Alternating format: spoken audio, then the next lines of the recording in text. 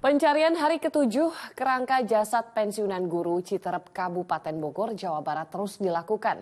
Hasilnya warga temukan tulang kaki dan tulang rusuk dari dalam sumur. Memasuki hari ketujuh, petugas bersama warga Tarikolot, Bogor, Jawa Barat, bahu-membahu mencari bagian tubuh seorang mantan guru yang ditemukan tewas di dalam sumur. Dengan alat seadanya warga memompa air sumur dan menyelam sedalam 2 meter. Setelah ditelusuri, ditemukan bagian tulang kaki dan tulang rusuk dari dalam sumur. Korban yang merupakan pensiunan guru itu dinyatakan hilang sejak 20 Januari 2023. Keberadaannya diketahui guru yang hendak membersihkan sumur pada Kamis pekan lalu.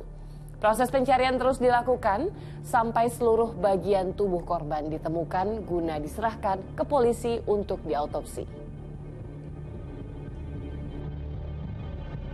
Mata airnya terlalu deras. Mm-mm. Terus? Ya udah gitu kan peralatan nggak terlalu lengkap ya. Pas satu posisi kurang lah, kurang apa? Untuk penyedotan airnya bang. Oh tadi itu menggunakan alat seadanya? Seadanya.